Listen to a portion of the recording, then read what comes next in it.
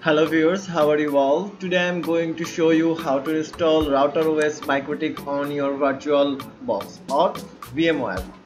At first you want to go mikrotik.com slash download or mikrotik.com uh, just uh, came to mikrotik.com and come in software and then you click on download and then scroll down and find the CD image.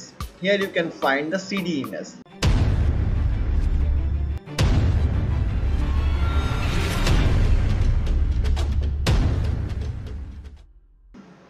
look carefully. Here is the CD image. That is the ISO file. Click the download here. Here is three update latest update and which is you want is just download it. I am download the first one. I'm already downloaded. Then I am going to download again. You can hear uh, the duplicate existing. Okay. Download is started. Here you can see 26 megabyte this ISO file size. Okay then start it to download. You can see here the download is started and it's a bit of file and uh, take the one minute or uh, below. Okay then uh, after downloaded the um, ISO file then go to the VMware workstation. I'm use VMware. You can use another virtual system and click the new virtual machine click typically recommended next and click uh, the disc image file. And one more thing you want to download uh, the Winbox anyone which is you want.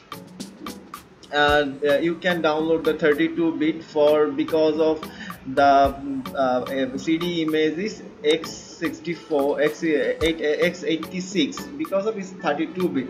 And you download I am already download the Winbox so let's come to the VMware. I'm uh, click the uh, click the open the virtual machine and browsing to find the ISO file. Here you can see the ISO file already downloaded. Then click open. Then click next. Here you uh, select the other and version is other. Okay then next. Here you can write the name mikrotik I am, I am select mt mkt and select the virtual space of it download or host. Click continue.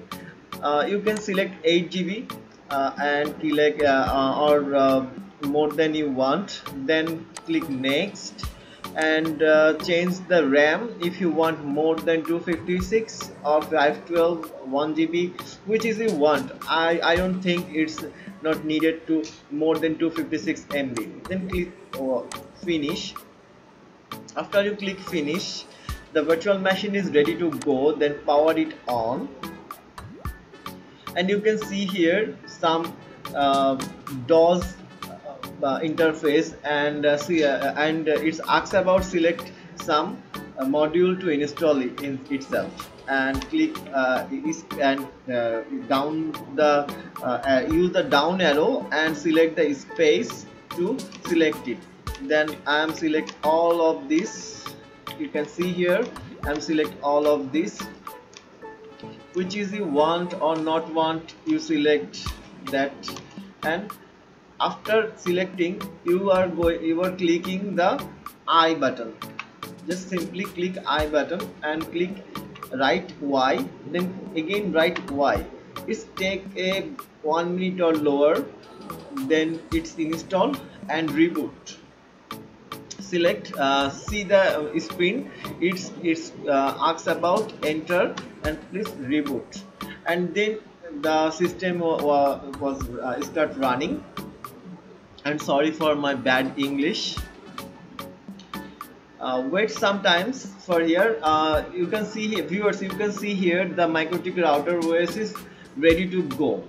Then uh, we are going to directly on the on the uh, MikroTik uh, client uh, MikroTik Winbox Winbox where is the Winbox open folder. Sorry. Open folder. Viewers you can see here I am download the latest Winbox here and clicking it OK then go the neighbors. When you go to the neighbors you can see here the new uh, OS here or router here which is IP address is 00 and uh, identify is router OS dot s uh, x86 you can see here the uptime is 47 uh, then you click the MAC address and login name is admin and then password is blank then click the connect. Viewers you can see here the MikroTik router OS is completely installed. Now you can add a date CPU memory and uptime now you can use it as a virtual emulator for MikroTik router OS then I am going to select the bandwidth here.